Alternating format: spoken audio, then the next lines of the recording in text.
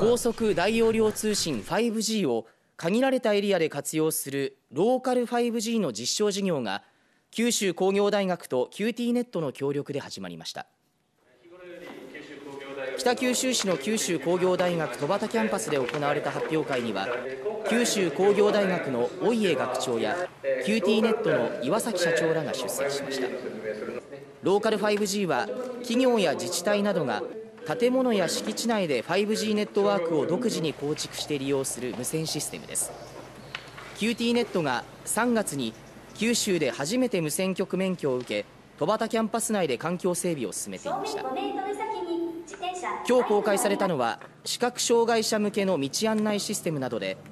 九州工業大学の大家学長は学内で少し先の未来を身近に感じ自由な発想を持ってほしいと意義を強調しました。